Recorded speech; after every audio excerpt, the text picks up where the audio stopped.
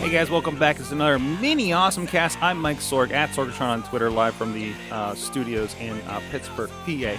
Today, let's talk about uh, Apple's been featuring pay once and play games over on the App Store, according to TheVerge.com. Um, these are games, you know, again, like you know, like we used to get games where we pay a price up front and then we play them for as long as we want to. Um, you know, right in the header, they're featuring uh, threes, Blek, and uh, Tom was alone. Thomas was alone, I think it is. Uh, three games that I have on my my uh, uh, system, and uh, two of those at least I think were recommended by Chachi over at InsertCoinToBegin.com on his Mobile Mondays. Um, but this is interesting. So, uh, in, in, the argument in the article is saying whether uh, this means that Apple is is preferring these over freemium ones. I think it's help reminding people that these exist because we've had so many freemium and free to play. I mean, we've had three games on the Super Bowl ads that are free to play freemium games. Um, I'm playing nothing but WWE Supercard and uh, WWE Immortals myself lately. Um, you know, where have our monument value, valleys go gone?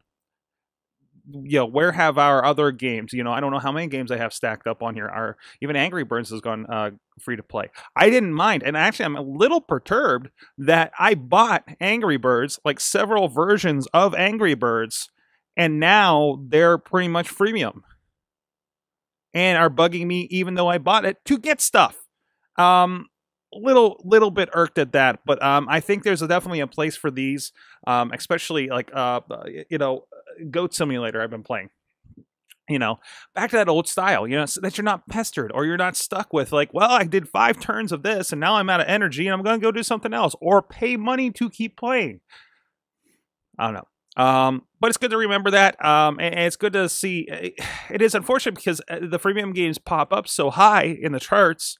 So that's what you see because so many people can download them and try them, whether they're getting into them or not.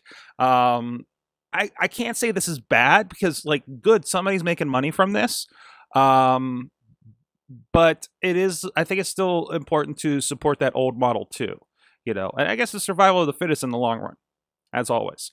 Let me know what do you what do you think? Do you think the uh, pay once and play games are all but dead, or uh, are you just really really want to get away from your freemium games? Let me know in the comments this on YouTube or at Sorgatron or at AwesomeCast on the Twitter, and uh, we'll see you next week for more AwesomeCast.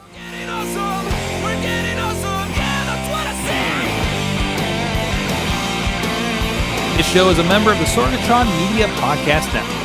Find out more at sorgatronmedia.com.